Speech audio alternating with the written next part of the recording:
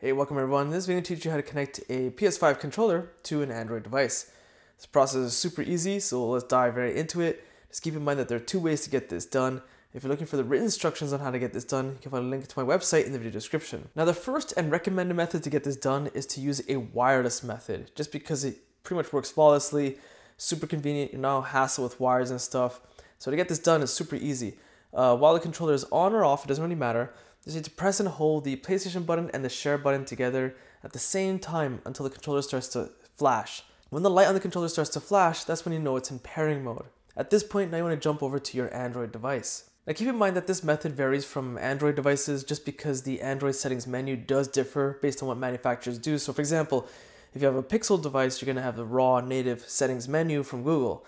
But of course, if you're using a Samsung device like myself, the settings menu might be a little bit different, but the idea is relatively the same. So what you want to do on your Android device is go to your connections settings menu. And ultimately the goal here is to go to the Bluetooth menu. Go ahead and open that up and make sure Bluetooth is turned on. At this point, you want to scroll down to where newly discovered devices are and tap on wireless controller. That's the PS5 controller. Within a few seconds, it should pair up just nicely. And at this point, what you can actually do is use the controller to navigate the menu itself. So for example, I'm using the joystick to go up and down. I'm hitting circle to go back just to test things out and it works just fine. This is how you know right away if the controller pairing was successful or not. Now the second method is a method I do not recommend and that's using a wired method. The reason I don't recommend it because it's cumbersome with all the wires and stuff. A wireless method works just brilliant. Um, the other problem, of course, is that this is not guaranteed to work on every single Android device. The reason being is because different manufacturers and models have different uh, settings on how it connects with peripherals, in this case, the PS5 controller. So in this case, because most Android devices have a USB-C fitting at the bottom, you'll probably need some sort of adapter like this um, it's a USB-C fitting here on the end, and it's a multi-adapter, and one of them is a USB-A fitting, which I can then connect the controller to. Um, basically, what you want to look for is something that uses USB on the go.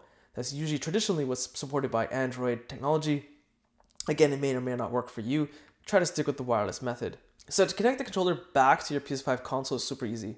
Turn on the console by pressing and holding the power button on the console itself. Then connect the controller back to the console using the USB cable.